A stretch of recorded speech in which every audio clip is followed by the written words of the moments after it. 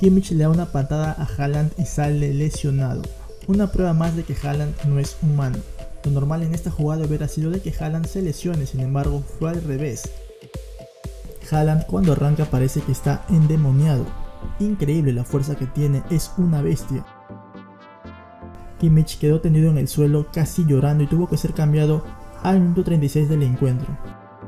Según el diario Bild, Kimmich sufre una lesión en el ligamento lateral en su rodilla y podría estar varios meses de baja, una ausencia importante tanto para el Bayern de Múnich como para la selección alemana que se medirá ante España en la última jornada de la Liga de Naciones el próximo 17 de noviembre. Esperemos su pronta recuperación.